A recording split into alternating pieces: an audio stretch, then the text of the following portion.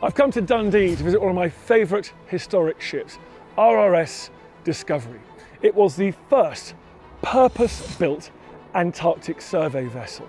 And at the beginning of the 20th century, this took the first British expedition of the modern era to Antarctica. On board were people like Scott and Shackleton, who would go on to become legends. Let's take a look aboard.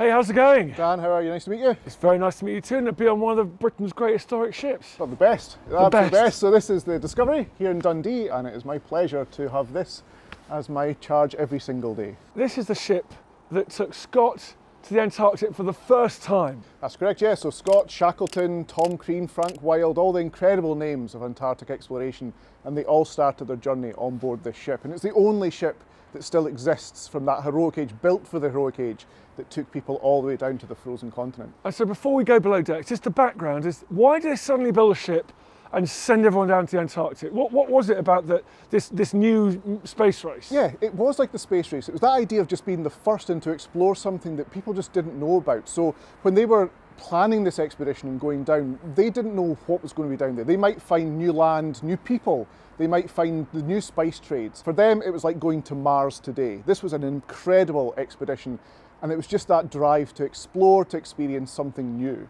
And this was purpose built for it. Absolutely, yeah. So all the previous ships had been refitted warships and so on. This was the first purpose-built scientific research vessel. So the Discovery really was a first in every single way possible. And the fact she's still here today shows how well they got it right. So this is where the action happens. Yeah, yeah. So this is obviously one of the most recognisable parts of the ship. Everyone's seen a ship's wheel before. It would have been open just like it is today. So you would have had two men standing here, and it was only men on board the ship. There were no women on board the Discovery in those days. And you would have had one on each side fighting their way through. No engine power to support them. So it would have just been sheer physical brute strength powering this wheel through. And they've each got a compass here, have they? Yeah, correct. So in the binnacle, you would have had the compass. It's a, a, liquid compass, so try and help them get a little bit more. And alcohol, of course, you don't want water in there, it would just freeze instantly. And this would help them navigate their way through. And from here, you also have two very important structures. Yeah, what are these? I've never seen these before. Yeah, so they're known as cuddies. Uh, and a cuddy, nautical term, is just an extra structure on a ship, um, but it has led to a nickname in Dundee, or, or for a certain generation in Dundee, for a particular part of the house. Oh, I think I know where we're going. Yeah. yeah. So a very important part. You don't want to go on a long voyage without these. These are the ship's toilets. and don't tell me, what, is one for officers, one for men? Correct. Oh. Yeah. So on this ship, Stratified society back that's in it. Well, it's Edwardian society. Yeah. So you'd have had one toilet for just 11 and one toilet for 36. for three years. unfair. Exactly, exactly. As they were sailing along to the other side of the world, obviously masts and sails, but also, by this stage in history, a big engine as well. Yeah, yeah. So she's officially an auxiliary bark. So bark rigged ship, but with an auxiliary engine. So it's not the main propulsion. You use your sails. It's free energy. Use it as much as you can. But when you really need that last push through the ice, the engine built here in Dundee by Gourlay Brothers, so a true Dundee ship, but that engine helped them keep going. And uh, the engine room just next to us here. Let's go take a look. The design of this ship is breathtaking, but it came at a cost of £51,000, equivalent to around £4 million in today's money.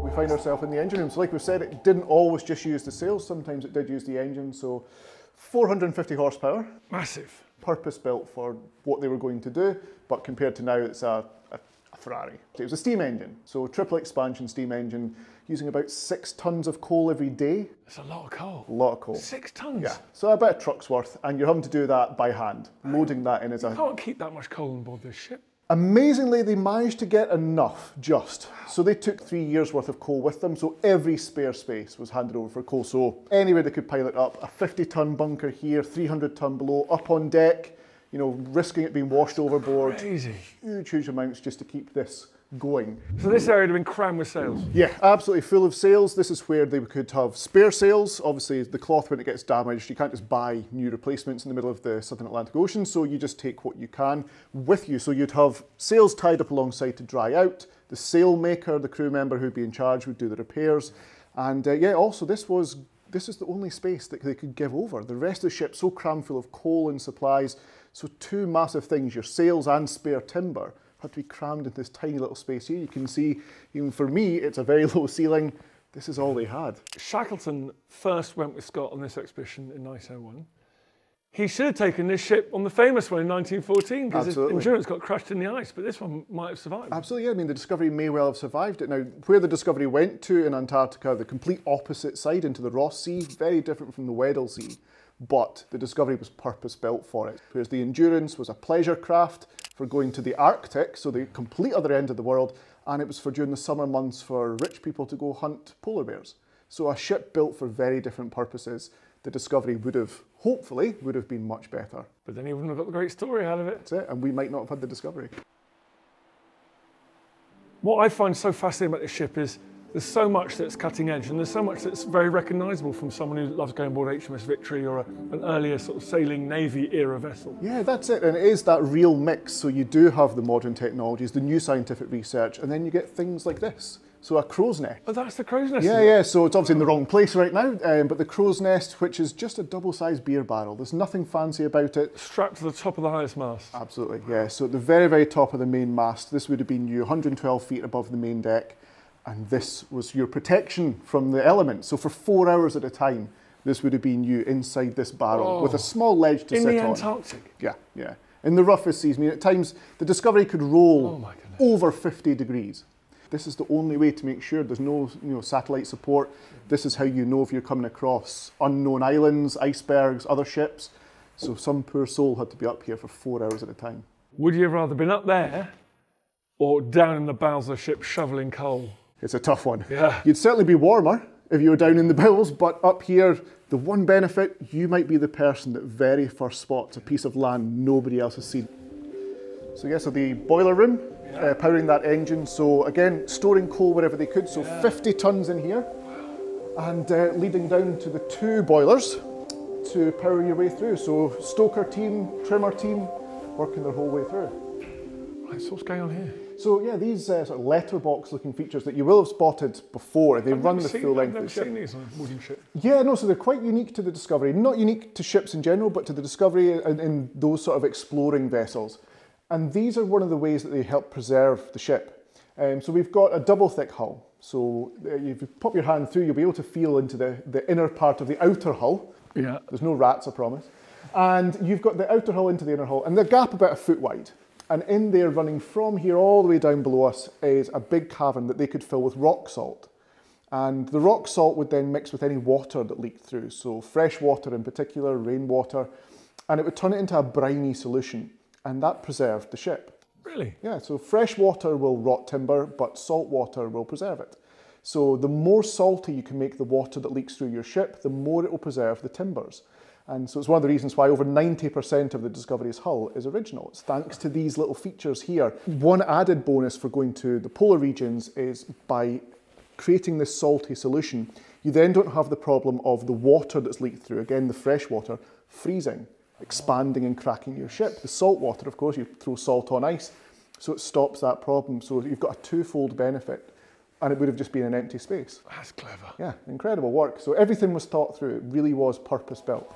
And so you go through a very important part of the ship. You would have your uh, galley for their food, which morale. would yeah, exactly, which would keep the men through the mess deck and the wardroom happy. So this is where vast majority of the crew would have spent their time. And so yeah, you would have had 36 men most of the time. This is where they would spend their downtime. And and these because it was again there was a big difference in officers and men, wasn't there? So these were the, the, the sailors and the stokers. Yeah, so this is where you had Tom Crean. This is where Frank Wild would have spent their time. It's where you had Whitfield and Quartley, the stokers, those people who are getting you through those ice, the really difficult seas. But this was their space. So 36 men crammed into a space smaller than a classroom, basically. And this was their eating, sleeping, relaxing, washing, everything. This was it for them. And so into where the officers would spend their time. That is amazing. Yeah, quite a difference. Different world. Yeah, exactly. So from from the all mucking together sort of attitude of the mess deck to the mahogany lined wardroom for just a living. How much restoration have you done here? Almost none at all. So the, there are a few additions that have happened over the ship's life. Of course, it's been used for various different purposes. So the names you'll see above the doors, they were added on by the Sea Scouts for the 1951 Okay. Festival of Britain. So of course they knew their own cabin. They don't need a name above it. Yeah. Uh, and little additions here and there, modern lighting. But ultimately, this is as was, and Shackleton would have recognised his cabin if he were to walk on right now. That's crazy.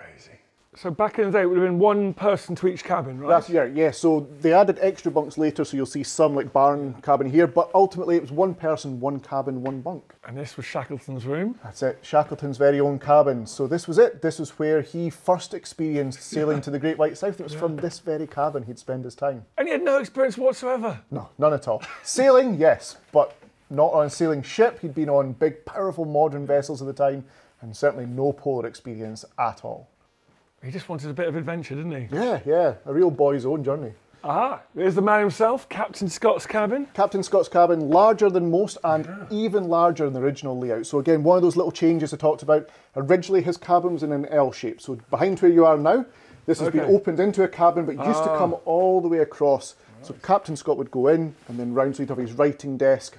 Nice. This would be his very, very plush, lovely big cabin, lots of space to work. But one big downside, the other side of that bulkhead was the boiler room.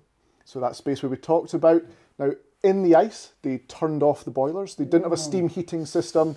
And so that temperature, that almost minus 20 in there, would transfer through that bulkhead. And so Captain Scott's cabin was so cold at times, he sat in the full outer layers and even his feet in a box of sennegrass, the stuffing they would put into the finneskoes, just to be able to survive in his own cabin. That is ridiculous. He didn't ask if he going spoon with Shackleton. Funnily enough, no. Keep you warm, wouldn't it? So this is a great place to steer the ship from. This is added later, was it? The original bridge was a much, much smaller structure, just to have a quick look. This was then added on in 1925. A second wheel, so you were able to, using a small donkey engine, you had a bit more power, like power steering in a car, helping you work your way through, but only if you're using engine power alone. As soon as you use your sails, you're back to the stern with that limited visibility. Does this shows they've learned from their previous experiences? Absolutely, yeah. So they took on board things that uh, Shackleton and Scott had said in their diaries about the experiences they had, changes they recommended for the Discovery, and so when it came to the refit, they took all of that on and made sure the ship was even better than it had been before. This is the ship that possibly could have survived and he could have had that full journey. And that would have been an amazing story by itself, but we would have lost that amazing story of the voyage of the James Caird yeah. and all the legends that have come from it. So, in one way, fantastic, in another way, you possibly wouldn't have even been here today had it not been for him taking the endurance. What a place to, to talk about the heroic age of Antarctic exploration. Thank you very much indeed for having You're me. very welcome. It's a pleasure to have you. After an amazing day aboard RRS Discovery, it was time for me to finish this tour with a view.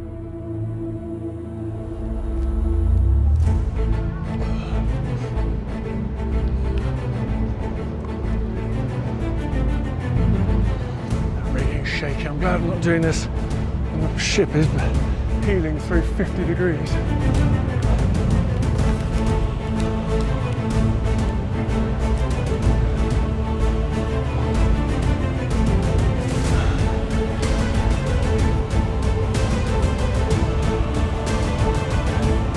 Well, it's pretty amazing being up here. It's a freezing cold January day here in Dundee. It's probably a few degrees above zero and your hands every time they touch anything it's the freezing the metal work the ropes the wood. And so operating up here in temperatures of minus 10 minus 20 it's unimaginable how hard that would have been. And you'd have been damp. The ship would have been going from one side to the next through something like 40 or 50 degrees. Terrifying. Great view though. And you did if you're up here have the chance of being the first human being to spot a new piece of land never before seen by human eyes.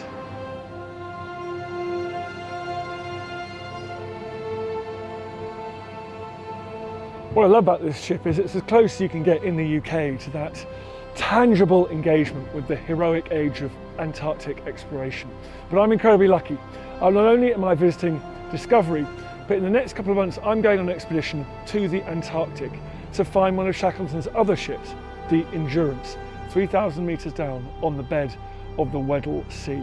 Now, History Hit is the broadcaster for that, so you can exclusively follow that expedition by following History Hit's social channels, whether it's TikTok, Facebook, YouTube, whatever you like. We're on all of them. Also, of course, there'll be further documentaries on History Hit TV, so make sure you join the action. This is always the most challenging bit. Uh, you basically have to hang upside down, uh, do some pretty fancy footwork. Uh, there we go. That's it.